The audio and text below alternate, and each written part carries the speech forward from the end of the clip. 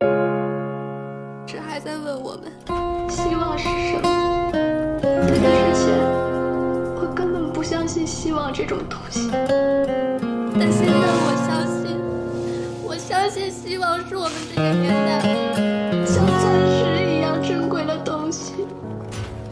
希望。忽然间才发现，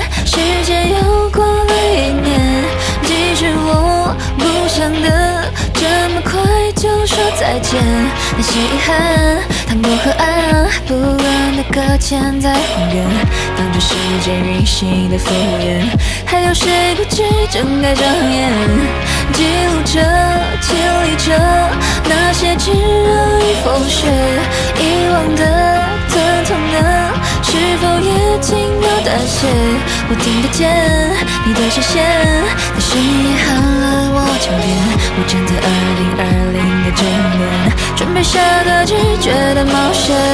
都说这一年注定不平凡，整个世界开局就像是山岳让你探险，那大同步的暴雪，非洲肆虐的蝗灾，澳洲的面生活到现在也没逃开。那天洛杉矶的浓雾记得黑曼巴的传奇，没有人做好准备面对这突然的别离，大国纷争与博弈，突破制裁走出国际，震荡中世界又悄悄设下了疫情的难题。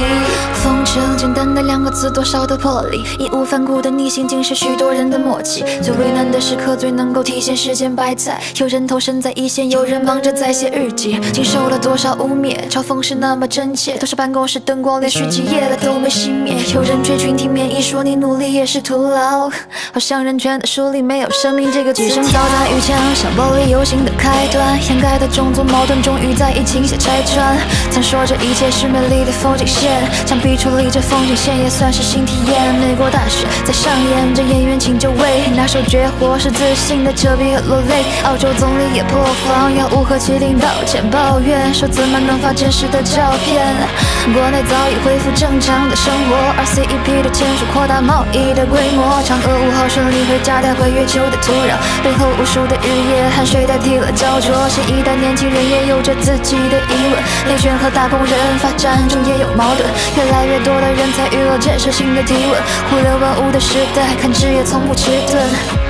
忽然间才发现，时间又过了一年，其实我不想的这么快就说再见，那些遗憾、糖果和爱，不安的搁浅在荒原，当这世界运行的敷衍，还有谁不知睁开双眼，记录着、经历着那些炙热与风雪，遗忘的、疼痛呢，是否也轻描淡写？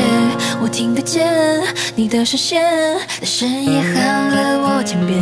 我站在二零二零的终点，准备下个直觉的冒险。